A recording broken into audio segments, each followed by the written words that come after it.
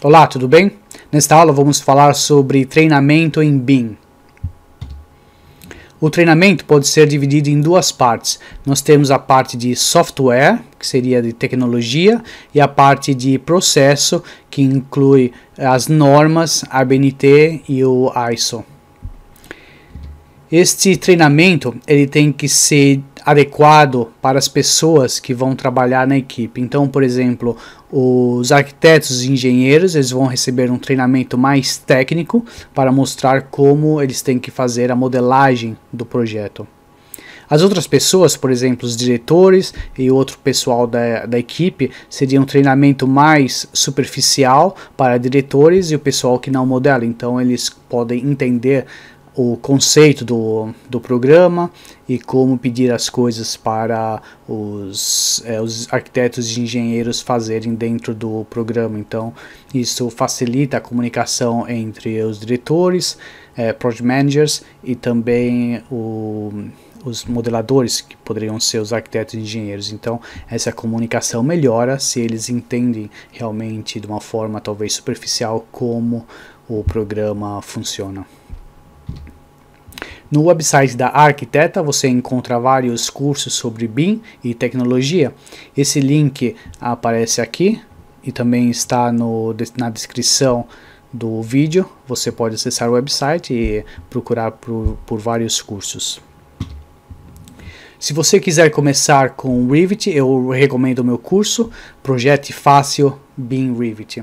Você vai aprender de forma rápida e eficiente como trabalhar com Revit e renderizar no Enscape, que é um dos plugins mais usados para renderizar dentro do Revit.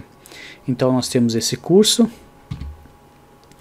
E no website da Arquiteta você também pode encontrar outros cursos de MP e instalações prediais que temos o curso da Talita e o curso do Rodrigo. Se você quiser aprender sobre o ArchiCAD, a Arquiteta também tem um curso para você. O ArchiCAD ele é o principal competidor do Revit em relação a plataformas para desenvolver modelos em BIM. Então, se você quiser aprender ArchiCAD, você pode é, consultar esse curso da arquiteta pela Luciana Paixão.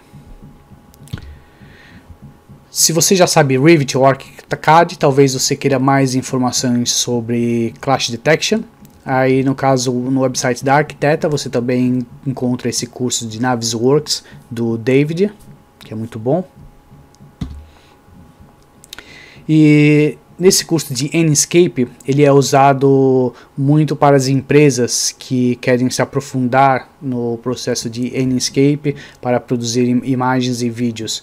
E se você quiser mais informações, um curso mais completo sobre o Enscape, eu recomendo o meu curso, é, curso de Enscape para Revit, que seria o curso completo de Enscape.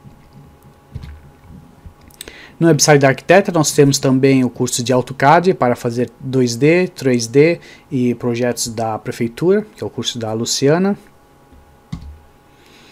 Bom, esse seria o final do nosso curso sobre o processo de migração de CAD para BIM. Obrigado por assistir a série completa e desejo sucesso na sua jornada de aprender e trabalhar com BIM. Sucesso a todos e se você gostou do vídeo, você poderia dar o like ou dislike. Abraço a todos